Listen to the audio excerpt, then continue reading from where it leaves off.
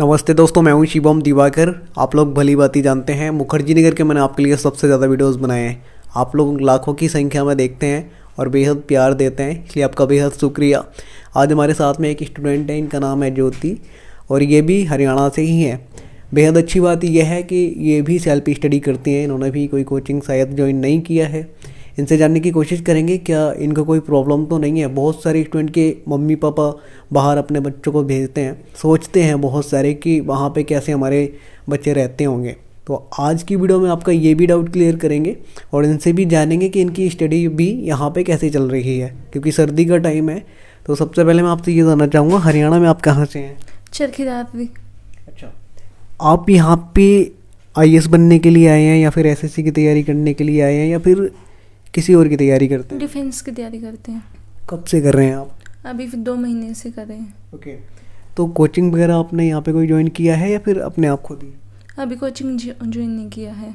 क्यों? आपको लगता है कि पहले हम खुद करके देखते हैं नहीं होगा तो फिर देखा जाएगा। हाँ यही सोचते हैं कि पहले खुद करके देखते हैं उसके बाद देखेंगे कोचिंग की।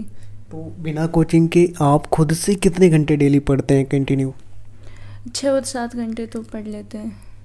यहाँ पे नींद नहीं आती सर्दी का टाइम कंटिन्यू पढ़ते टाइम लाइब्रेरी ज्वाइन कर रखी है और फिर उसमें नींद नहीं आती है ज़्यादा।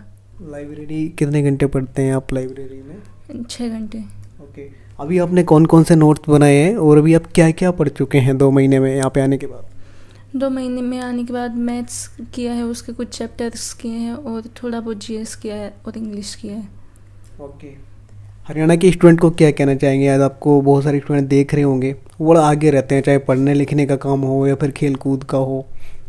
हरियाणा वाले मतलब पता है कि सब चीज़ों में आगे रहते हैं तो वो मेहनत करेंगे तो सफल हो ही जाएँगे ऑफकोर्स मम्मी पापा को क्या कहना चाहेंगे? अच्छे से स्टडी हो पा रही है यहाँ से आपकी? हाँ यहाँ पे अच्छे से स्टडी हो पा रही है मेरी।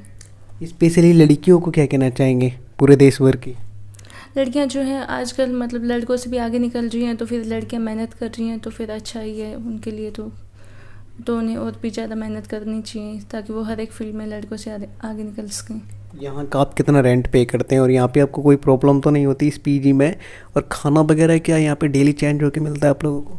खाना वगैरह हमें यहाँ पे डेली चेंज होकर मिलता है और रेंट लगभग साढ़े आठ आठ के आसपास ये सब पीजी में। और यहाँ पे कोई दिक्कत नहीं होती है ऐसी मतलब सिक्योरिटी वगैरह भी अच्छी है यहाँ पे सब कुछ सही है। वाईफाई वगैरह भी चलता है हाँ वाईफाई वगैरह भी चलता है यहाँ पे। हॉबी क्या है? आपको क्या पसंद है? हॉबी मुझे गेम्स वगैरह पसंद है और स्टडी भी अच्छी लगती है। ओके ये राइटिंग आपकी बहुत अच्छी है। ये आपके नोट्स हैं कब से आपने बनाए? बड़ा अच्छी राइटिंग है आपकी। मैंने अभी मतलब कुछ एक महीने पहले ही नोट्स बनाए हैं। जब सेल्फ स्टडी करना स्टार्ट किया था तभी नोट्स बनाए थे। ओके तो ये घर पे ही बना लिए थे या फिर यहीं आने के बाद बनाए? यहीं आने के बाद बनाए हैं। और इधर जो रखे हुए हैं ये कौन से हैं? या आपने सेल्फ स्टडी करके ही बनाए हैं क्या ये सब? हाँ ये सब सेल्फ स्टडी करके ही बनाए हैं मैंने। ये आपने छाप के बनाया डाइग्राम या फिर ऐसे ही बनाए हैं? हाथ से ही बनाए हैं। दोस्तों आप देख सकते हैं इस तरीके से ये स्टूडेंट यहाँ पे मेहनत करते हैं और बेहद अच्छी इनकी राइटिंग है। इस तरीके से ये मेहनत कर रहे हैं तो इनका एक ना एक दिन सिलेक्शन ज़रूर होगा। बहुत सारे स्टूडेंट ये कह रहे थे गर्ल्स पीजी के बारे में बताइए। तो आज हमने स्टूडेंट से बात की और वैसे भी हमने बहुत बार वीडियोस बनाए 1100 प्लस आपने देखे भी हैं ये वीडियो देखने के लिए। आपका बेहद शुक्रिया। अगर आपको ऐसा लगता है कि मुखर्जी नगर में ओनली यूपीएससी और एसएससी के स्टूडेंट रहते हैं तो ये बिल्कुल गलत है। यहाँ पे डिफेंस के भी रहते हैं और भी यहाँ पे बहुत सारे कोचिंग हैं। उनके भी स्टूडेंट रहते हैं कॉलेज के भी स्टूडेंट रहते हैं। और आज की वीडियो में इतना ही। ये वीडियो देखने के लिए आपका बेहद शुक्रिया। मिलते हैं आपसे किसी और वीडियो